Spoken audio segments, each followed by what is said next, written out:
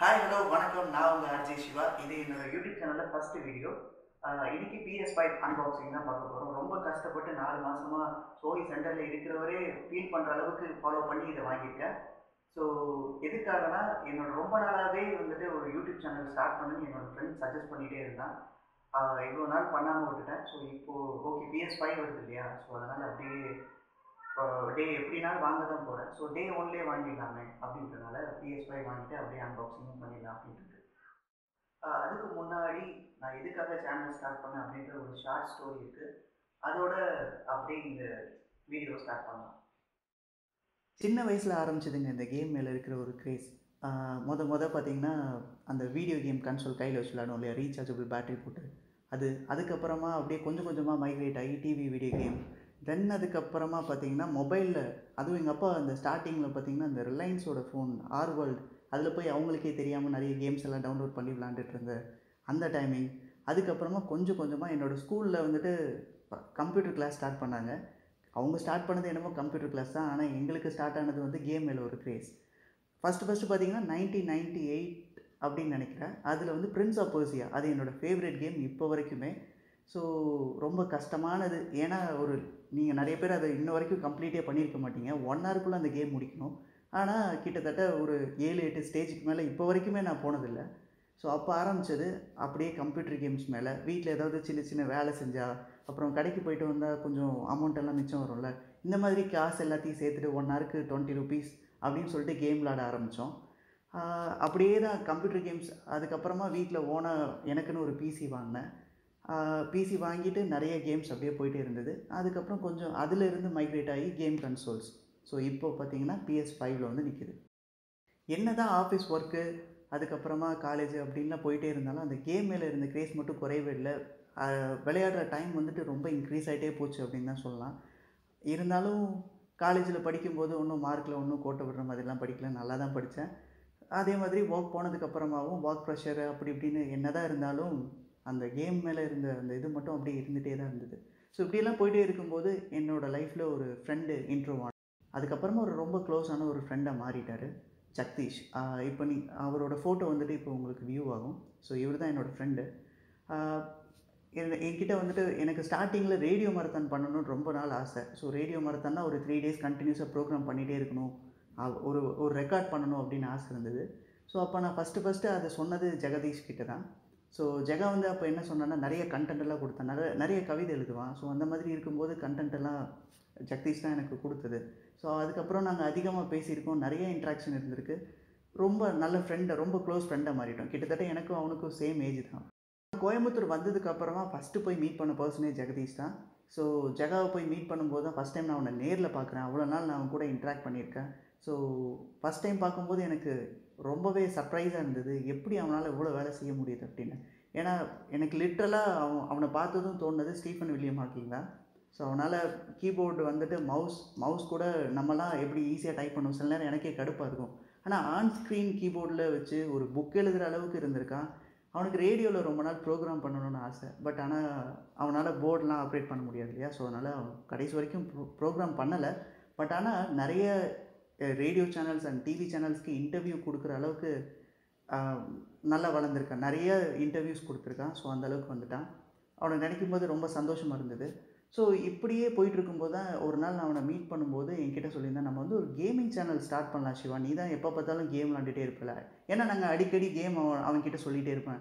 இந்த கேம் வந்திருக்கு இந்த கேமில் இந்த மாதிரி இருக்குது அப்படின்லாம் சொல்லிகிட்டே இருப்பேன். அப்படி இருக்கும்போது ஓகே நம்ம வேணால் ஒரு கேம் சேனல் ஸ்டார்ட் பண்ணலாமா? அப்படின்னு எனக்கு ஒரு ஐடியா கொடுத்தான். ஸோ அப்போவே அப்போ வந்துட்டு பிஎஸ் ஃபோர் இருந்தது. இது நான் சொல்கிறது வந்து ஒரு ஃபோர் ஃபைவ் இயர்ஸ்க்கு முன்னாடி. அப்போ வந்து என்கிட்ட சொன்னால் தமிழ் கேமிங்ஸ்னு ஒரு சேனல் வந்துட்டு நிறைய வீடியோஸ் பண்ணுறாங்க நீ வேணால் அந்த வீடியோஸ் பாரு. அந்த டைமில் வந்து அந்த Uncharted last un Uncharted five வந்திருந்த டைம் ஸோ அதில் வந்து தமிழ் இந்தியாவை ஃபோக்கஸ் பண்ணி அந்த கேம் பண்ணியிருந்தாங்க. அதில் நிறைய தமிழ் டைலாக்லாம் வர மாதிரி கூட இருக்கும். ஸோ அப்போ வந்து நம்ம அந்த கேம் பண்ணலாம் அப்படின்னு ஒரு ஐடியா கொடுத்தான். சரி ஓகே பண்ணலாம் ஜெகா பண்ணலாம் அப்படின்னு சொல்லிகிட்டே இருந்தேன். கடைசியில் பண்ணவே முடியல. ஓகே இனிமேலாவது பண்ணலாம். பிஎஸ் ஃபைவ் லான்ச் பண்ண போகிறாங்க எப்படியும் வாங்க தான் போகிறேன் ஸோ டே ஒன்னே வாங்கலாம். அப்படியே அன்பாக்சிங் பண்ணிவிட்டு நம்ம உண்மையிலே ஒரு கேமிங் சேனல் ஒன்று ஸ்டார்ட் பண்ணிடலாம் அப்படின்னு ஒரு ஐடியா வந்தது. உண்மையிலேயே ஜெகதீஷ் இப்போ ரொம்ப மிஸ் பண்ணுறேன் அவன் கூட இருந்திருந்தானா நல்லா இருந்திருக்கும் அப்படின்னு நினைக்கிறேன். ரெண்டு பேரும் சேர்ந்து வீடியோ பண்ணியிருந்திருப்போம். பட் இப்போ அவன் இல்லை. நான் மட்டும் வீடியோ பண்ணுறேன் பார்க்கலாம். எப்படி வருதுன்னு. ஓகே ரொம்ப நேரம் பேசிகிட்டே இருக்கேன்ல. அன்பாக்சிங்குள்ளே போயிடலாம். ஓகே இப்போ நம்ம அன்பாக்சிங்குள்ளே போயிடலாம். என்கிட்ட இப்போ பார்த்தீங்கன்னா P S five console then H D camera wireless controller இருக்குது இது போக இன்னும் three D headset and charge station இன்னும் வரல.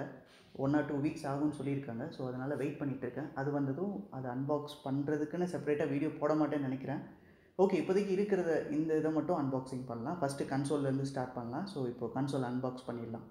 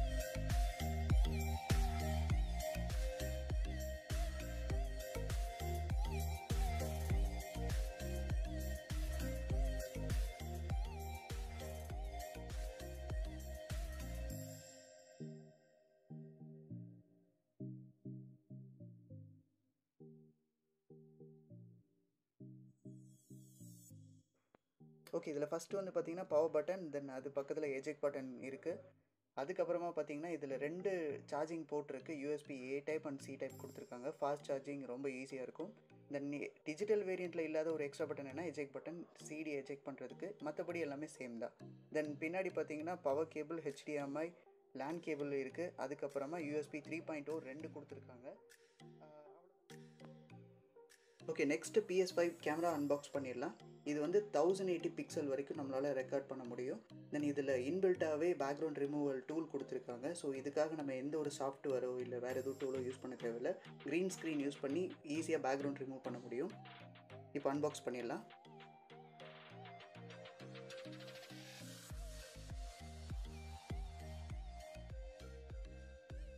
ஸோ பாக்ஸை ஓப்பன் பண்ணால் பெருசாக ஒன்றும் இல்லைங்க. ஒரு மேனுவல் கைடும் தென் கேமரா மட்டும்தாங்க இருக்குது ஸோ கேமராவில் யூஎஸ்பி டைப் கொடுத்துருக்காங்க. நீங்கள் டேரெக்டாக உங்களோட கன்சோலில் ப்ளக் பண்ணிங்கன்னா போதும். பெல்ட் குவாலிட்டி ரொம்ப நல்லா இருக்குது எனக்கு தெரிஞ்சு பிஎஸ் ஃபோர் கேமராவோட பிஎஸ் ஃபைவோட கேமரா ரொம்ப நல்லா இருக்குது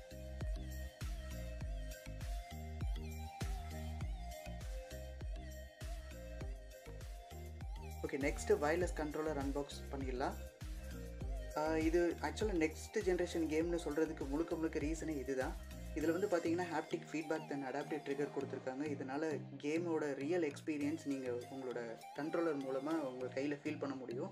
இதில் வந்து கெய்டும் தென் கண்ட்ரோலர் மட்டும்தான் இருக்குது எக்ஸ்ட்ரா உங்கள் சி டைப் கேபிள் கூட கொடுக்கல. எப்படினாலும் நான் சார்ஜிங் ஸ்டேஷன் வாங்க போகிறேன் ஸோ அதனால் பிரச்சனை இல்லை. ரெண்டு கண்ட்ரோலர் வாங்கினா கண்டிப்பாக சார்ஜிங் ஸ்டேஷன் வாங்கிடுங்க. ஆக்சுவலாக அன்பாக்ஸ் பண்ணும்போது இதை நான் கவனிக்கவே இல்லை. டே ஒன் வாங்கினனால சோனி சைட்லேருந்து ஒரு சர்டிஃபிகேட் கொடுத்துருக்காங்க. நல்லா இருக்குது அவ்வளோதான்.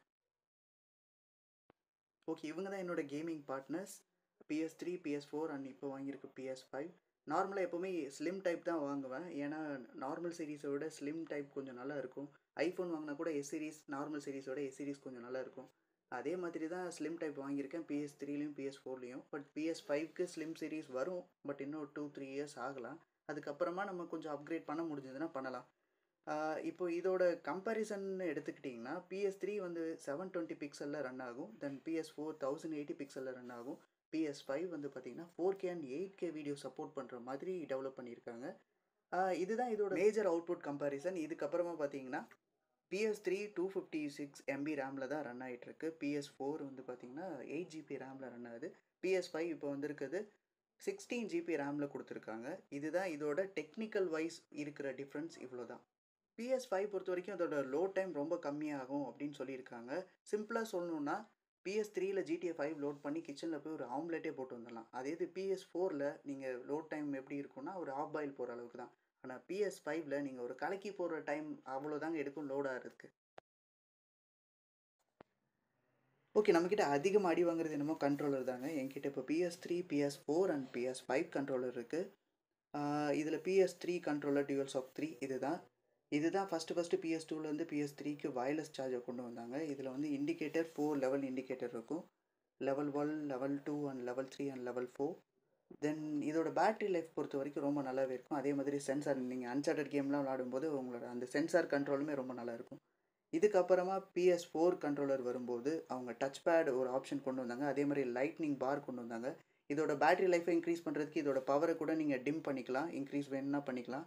தென் இது அதோட அந்த கண்ட்ரோலோட கம்பேர் பண்ணும்போது இது இன்னும் கொஞ்சம் சாஃப்டாக ஸ்மூத்தாக இருந்தது. மற்றபடி ரெண்டுக்கும் பெருசாக எனக்கு எதுவும் டிஃப்ரென்ஸ் ஃபீல் ஆகலை. ஆனால் டியூயல் சென்ஸ் இது வந்து பிஎஸ் ஃபைவோட கண்ட்ரோலர் இதில் நிறைய இன்பில்ட் ஆப்ஷன் கொடுத்துருக்காங்க. இந்த லைட்னிங் பாருமே பார்க்குறதுக்கு ரொம்ப அழகாக இருக்குது தென் இதில் யூஎஸ்பி சி டைப் கொடுத்துருக்கனால சார்ஜிங்குமே பார்த்தீங்கன்னா ரொம்ப சீக்கிரமாக சார்ஜ் ஆகுது. ஆனால் பேட்டரி லைஃப் பொறுத்த வரைக்கும் இதில் adaptive trigger and haptic feedback இருக்கனால இதில் கொஞ்சம் பேட்டரி லைஃப் கம்மியாக தான் இருக்குது PS four and PS three PS five பொறுத்த வரைக்கும் பார்த்தீங்கன்னா இதில் ரெண்டுலேயுமே வந்து மைக் ஆப்ஷன் கொடுத்துருந்தாங்க. நீங்கள் ஜிடிஏ கேமில் பிஎஸ் ஃபோரில் விளாடும்போது அந்த கால் ஆன்சர் பண்ணும்போது அந்த ஸ்பீக்கர் கண்ட்ரோலோட ஸ்பீக்கரில் பேசுவோம். சேம் அதே மாதிரி தான் இதில். இதில் அடிஷ்னலாக இன்பில்ட் மைக் கொடுத்துருக்காங்க. ஸோ நீங்கள் ஆன்லைன் கேமிங் சேட் பண்ணும்போது நீங்கள் கண்ட்ரோலரில் இருக்கிற மைக் வச்சே சேட் பண்ண முடியும். தென் இதில் நீங்கள் three point five M jack இருக்கனால உங்களோட ஹெட்செட் கனெக்ட் பண்ணிக்கலாம். வெயிட் கம்பேர் பண்ணும்போது ரெண்டுமே சேம் தான். பட் பிஎஸ் ஃபைவோட வெ கண்ட்ரோலர் இன்னும் கொஞ்சமே வெயிட்டாக இருக்குது பட்டனில் பார்த்தீங்கன்னா ரொம்பவே ஸ்மூத்தாக இருக்குது பிஎஸ் ஃபோரை விட பிஎஸ் ஃபைவோட அந்த எஸ்பெஷலி அந்த ஃபேஸ் பட்டன்லாம் ரொம்ப சாஃப்டாக இருக்குது அவ்வளோதாங்க மற்றபடி கண்ட்ரோலரில் வேறு ஒன்றும் இல்லை. அவ்வளோதாங்க இன்றைக்கி நம்மளோட வீடியோ ஸோ என்னோடய வீடியோ பிடிச்சிருந்ததுன்னா லைக் பண்ணுங்கள் அப்புறம் என்னெல்லாம் சொல்லணும்னு நினைக்கிறீங்களோ அதெல்லாம் கமெண்ட் பண்ணுங்கள் தென் மறக்காமல் என்னோடய சேனலை சப்ஸ்கிரைப் பண்ணுங்கள் இன்னொரு வீடியோவில் உங்களை மீட் பண்ணுற வரைக்கும் இப்போதைக்கு டாடா பாய் சொல்லிட்டு கிளம்புறேன். நான் உங்கள் சிவா பாய்